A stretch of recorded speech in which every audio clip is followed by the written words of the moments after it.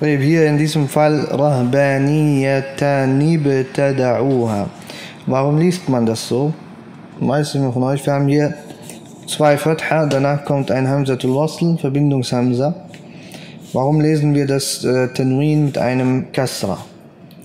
Rahbaniyatan ibtada'uha. Ich zeige das mal hier auf der Tafel, dann sehen die anderen das auch.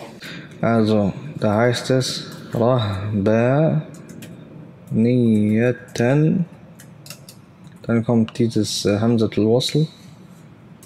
Ibtada'uha. So.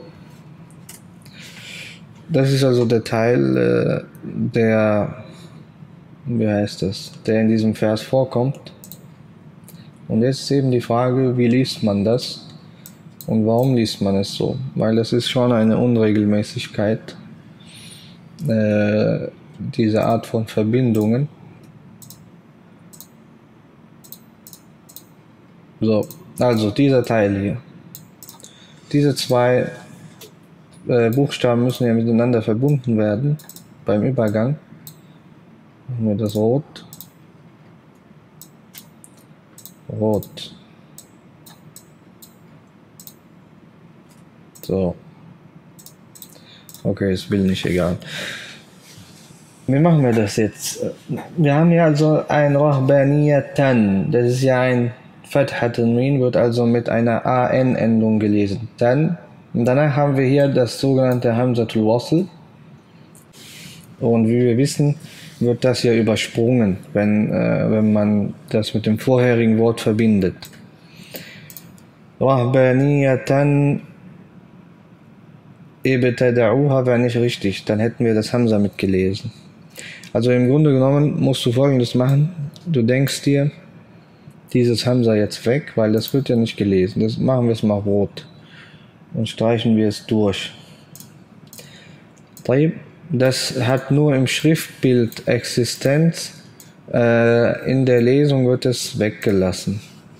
So, dann haben wir jetzt ein Ba mit Sukun, Rahbaniyatan.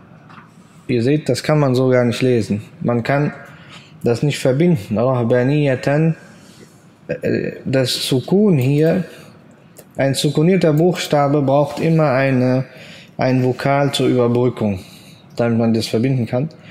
Und äh, deswegen machen wir folgendes jetzt. Beziehungsweise lasst uns noch einen Schritt weiter gehen. Ein,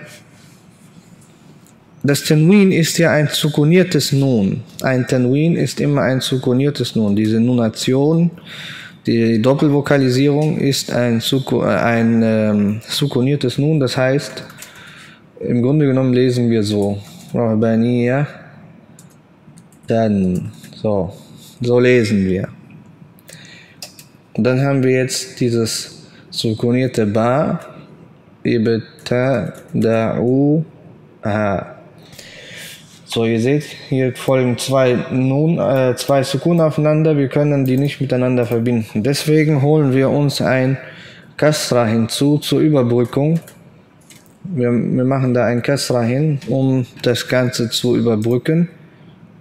Und dann lautet es Rahbaniyatan ibtada'uha. Tamam?